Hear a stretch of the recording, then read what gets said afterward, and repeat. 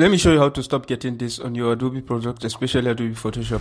So just click on exit application. And the reason why you get this is because your Photoshop is still communicating with the internet. So I'm going to cut the connection between Photoshop and internet. So I'm no longer going to collect or receive these terms.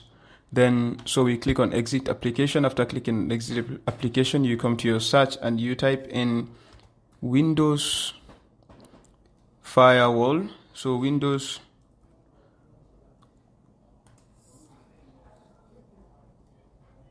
firewall with advanced security you click on this windows defender firewall with advanced security. So after clicking on this what you do is you click on inbound rules. After clicking on inbound rules you click on new rule. After clicking on new rule you ensure that program is ticked. Then you click on next. Then you locate to where your photoshop installation or any adobe software is. So in my case this is where it is. Uh, in local disk C program files Adobe, Adobe Photoshop 2023. So I'm going to locate Photoshop app, which is this, so Photoshop. Then I click on next, then you select block the connection.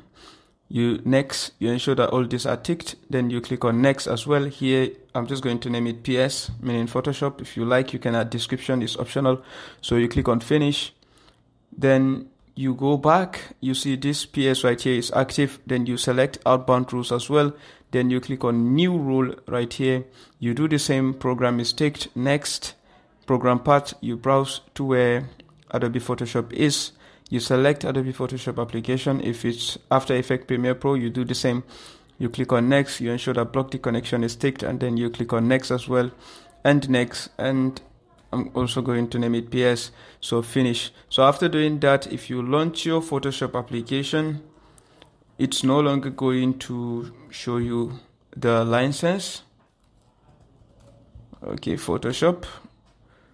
So this should be it. If you find this video tutorial helpful, ensure you like this video and leave a comment and also ensure you subscribe to my channel so you get more beautiful contents like this. I love you guys so much. Do have a nice day.